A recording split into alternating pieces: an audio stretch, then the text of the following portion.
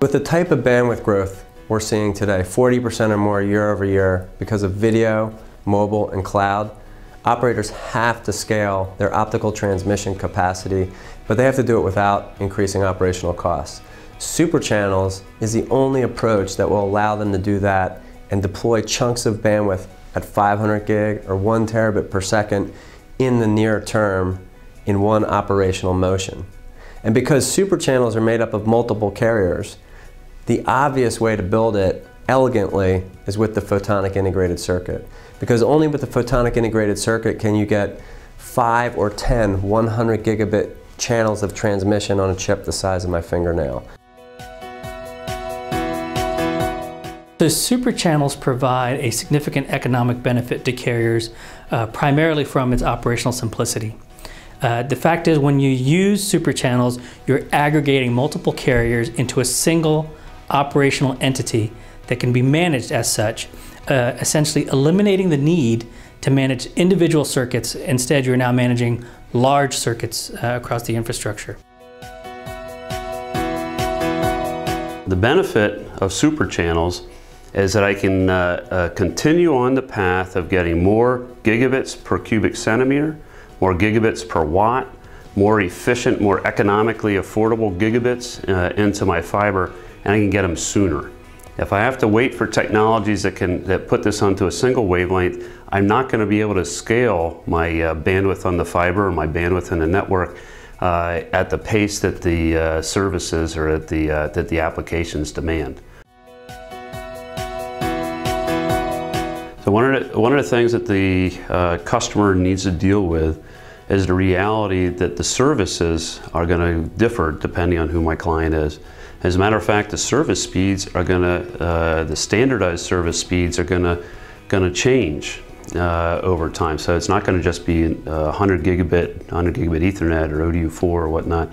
There's an, there's an undefined next generation uh, that's going through the standards bodies now.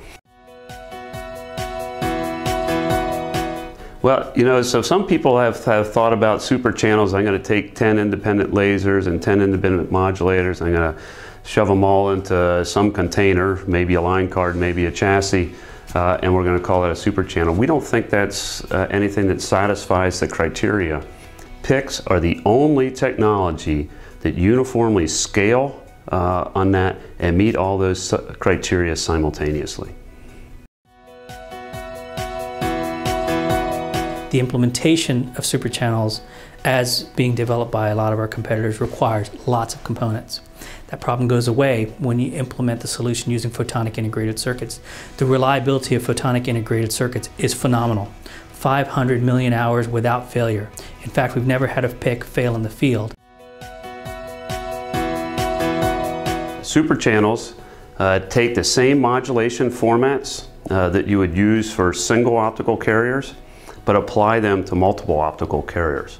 It's that modulation format that dictates how far the signal goes at this point in time. So if I take a QPSK signal and apply it to 10 optical carriers, or I take a QPSK signal and apply it to a single optical carrier, they're going to go about the same distance uh, in the fiber.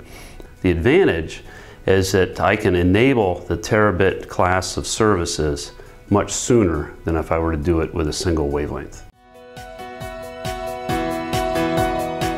Infinera is a huge believer in super channels. Uh, in 2012, we'll start shipping our first 500 gigabit super channels into production networks. We've demonstrated 500 gigabit super channels to our customers for over a year now.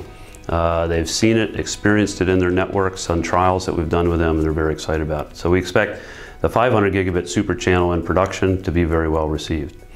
We've checked out the, the constraints of the technology and we don't see any constraints in the photonic integrated circuit technology well beyond four or eight terabit super channels.